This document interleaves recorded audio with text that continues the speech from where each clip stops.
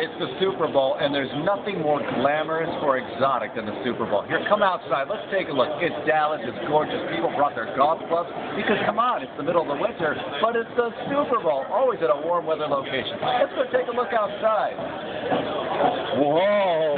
Looks like we may have... Oh, baby! Some of the sights of Super Bowl 45 top three things you don't want to see on media day up Super Bowl.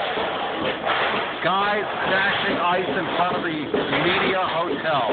Not.